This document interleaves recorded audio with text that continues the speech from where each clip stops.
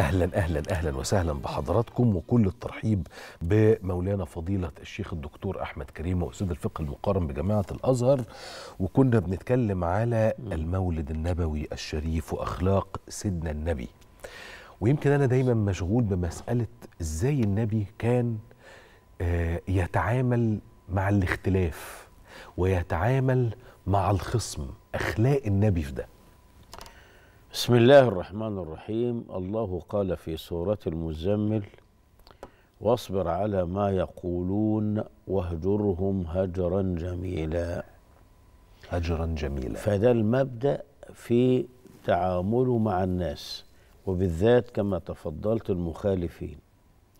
هجيب ثلاث نماذج بسرعة مراعاة للوقت. إذا جئنا إلى عباد الأصنام والأوثان فمر أبو سفيان وهو في حالة السجال والحرب ما بين الرسول ما بينه وبين سيدنا النبي عليه الصلاة والسلام. فالمهم أن أبو سفيان حصلت مجاعة في مكة. فأرسل إلى النبي صلى الله عليه وسلم قال يا أبا القاسم إن بني قومك يعني أهلك وعشيرتك وكذا في مكة يأكلون الجيف وأوراق الشجر. فأرسل إليه اثني عشر ألف درهم ليشتري ميرة يعني الأقوات الضرورية من الشحم واللحم وكذا والدقيق إلى فقراء مكة. حتى وهم هم بيحاربون حاربوه وطردوه وآذوه. نعم. لأن هنا أخذ بمنهج من أحياها وكأنما أحيا الناس جميعا. هجيب مثال من أهل الكتاب.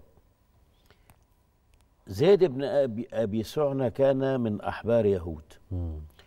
وفقراء الصفة في المسجد النبوي الشريف آه، كانوا بحاجة إلى تمر وكانوا بحاجة إلى بر إلى قمح علشان يأكلوا ويعيشوا. فالرسول عليه وسلم يعني آه، أخذ من زيد لأنه كان من كبار تجار البر والتمر آه، قدرا من هذا لحين ميسرة حتى يتمكن هؤلاء من آه، المعيشة أو الحياة أو الشبع إلى آخره. المهم في مرة هو زيد اللي بيحكي. بيقول في مرة كانت هناك جنازة والنبي صلى الله عليه وسلم بعد أن شيعها استند إلى جدار ومعه أبو بكر وعمر وعثمان وعلي وعليهم رضوان الله وباقي الصحابة يا رب. فجاء زيد إلى النبي صلى الله عليه وسلم قال يا أبا القاسم يا محمد اعطني ديني. فما علمتكم يا بني عبد المطلب إلا مطلى يعني بتاكلوا أموال الناس. ثم جذبه من أعلى ردائه وكان من كتان فأثر في عنقه الشريف. صلى الله عليه وآله. كل هذا ورسول الله ساكت. سمع السب والشتم. لم يحرك ساكنا. لأنه على خلق عظيم. والرجل جذبه بمجامع ثوبه وأثر في عنقه. ما رد الإساءة بمثلها. طب ده أكيد كان سيدنا عمر عمر بن الخطاب هو ياكله. هو قام. طبعا. سيدنا عمر لما لقي هذا الحاجات دي ما سيدنا عمر قال لزيد أتقول لرسول الله صلى الله عليه وسلم ما أسمع؟ اللي هو بيتهم إن هو بني عبد المطلب حاشاهم آه، مطلا. وتصنع به ما أرى؟ والله لولا الله الذي أخشى فوات يعني فوات الجزاء لشققت رأسك بسيفي هذا. هنا بقى هيتكلم الرسول عليه. والسلام. قال يا عمر كنت أنا والرجل بحاجة منك إلى غير هذا. تأمرني؟ وقف بقى عند الوقفة دي. تأمرني بحسن الأداء وتأمر الرجل بحسن الاقتضاء. يعني بدل ما تعنف الرجل وتخيفه أنت كنت تقول يا رسول الله إذا كان ما عندك أموال فلنؤدي دي أديها. وتأمل الرجل لما يجي يطالب بدينه يطالب بأدب. خدت بال حضرتك؟ وشوف الرسول بيقول لسيدنا عمر ده الرسول واحد من رعية. تأمرني. آه نعم. فالمهم قم يا عمر فأديه دينه وزده عشرين صاعا. مكان ما أخفته. كمان مع إنه الراجل هو اللي اعتدى.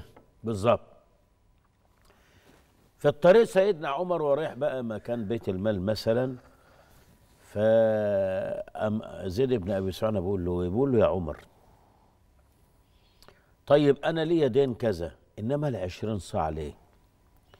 قال له ما كان ما أخفتك يعني عوضا عن إن أنا أدخلت الرعب عليك. قال يا عمر والله ما من علامة فيه إلا عرفناها. لكن هناك خلة باطنية أردت أن أختبره لاتعرف عليه قال وما هي؟ قال نقرأ في شروح كتبنا أنه لا يجزي السيئة بالسيئة ولكن يدفع السيئة بالحسنة. يا حبيبي يا رسول صلى الله الله عليه الصلاة وسلم. والسلام. أشهد يا عمر أني أشهد أن لا إله إلا الله وأن محمدا رسول الله وأن أموالي صدقه على المسلمين. فتبسم سيدنا عمر. قال قل على بعض المسلمين فإن أموالك لا تسعهم. دي معاملته مع اليهود. معاملته مع آه لسه بقى برضه عند اليهود. من اعتدى عليه. نعم. آه سيدنا النبي عليه الصلاة والسلام لما تزوج بستنا صفية بنت حيي. وهو كان من زعماء يهود. آه. فبعض أزواج النبي يعني كأنهن يعيرن هذه الزوجة أو هذه المرأة بأصولها اليهود. فستنا صفية شكت للنبي صلى الله عليه وسلم قالت يا رسول الله يعيرونني بأن أبي وجدي وكذا كانوا من اليهود.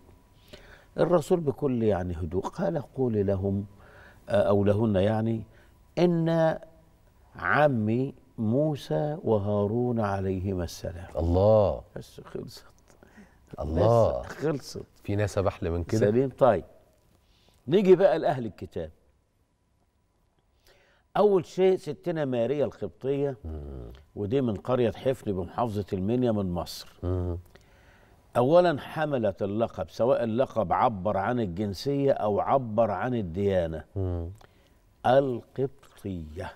المصرية. ماشي لا غضاضة في هذا المناخ وهذا الجو لأن هذا الجو في سلمان الفارسي الفارسي بلال الحبش, الحبش. صهيب, صهيب الرومي, الرومي.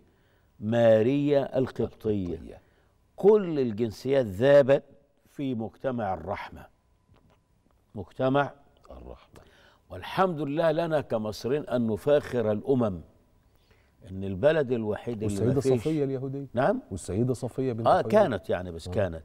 آه نفاخر الأمم آه زي السيد الرئيس عبد الفتاح السيسي حفظه الله ما قال إحنا البلد اللي ما فيناش عندنا مخيمات للاجئين الأجانب. صح. صح.